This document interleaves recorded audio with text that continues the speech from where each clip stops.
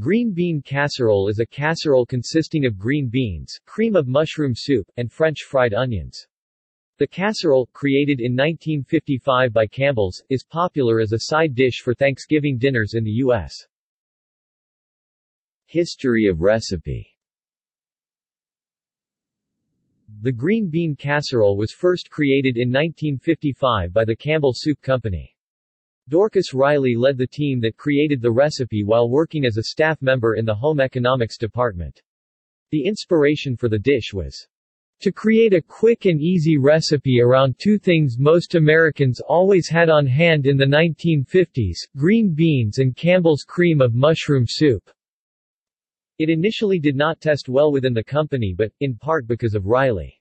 S persistence, eventually earned a reputation for being the ultimate comfort food. In the 1972 version of the Good Housekeeping Cookbook, the recipe replaced the cream of mushroom soup with sour cream. Campbell's cream of mushroom flavored soup variety was created circa 1934 and was widely used as casserole filler in the Midwest so much so that it was sometimes referred to as Lutheran binder, but no one thought to add frozen green beans to the mix until Dorcas Reilly's version was created. Campbell's Soup now estimates that 40% of the cream of mushroom soup sold in the United States goes into making green bean casserole. In 2002, Reilly presented the original recipe card to the National Inventors Hall of Fame in Akron, Ohio.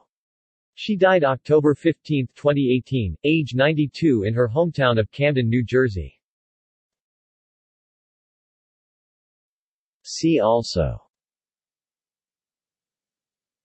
Comfort food. Hot dish. List of casserole dishes. Marketing. Tuna casserole. References. External links. Green bean casserole recipe without canned soup